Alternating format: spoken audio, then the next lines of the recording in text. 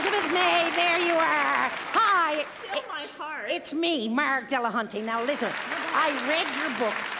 Um, global warming for dummies. But I think if you're going to get through to the Prime Minister and Steve and his ilk, you should have called it global warming for people with dead eyes who keep insisting that up is down, near is far, coal is clean, and so is tar.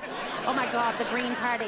The only federal party who actually gained votes in the last election. The fastest growing political party in the country. Of course, at the rate you're going, it'll take you about, oh, I don't know, a hundred years before you'll even be able to form the opposition. And by that time, according to your crowd, the whole House of Commons will be underwater.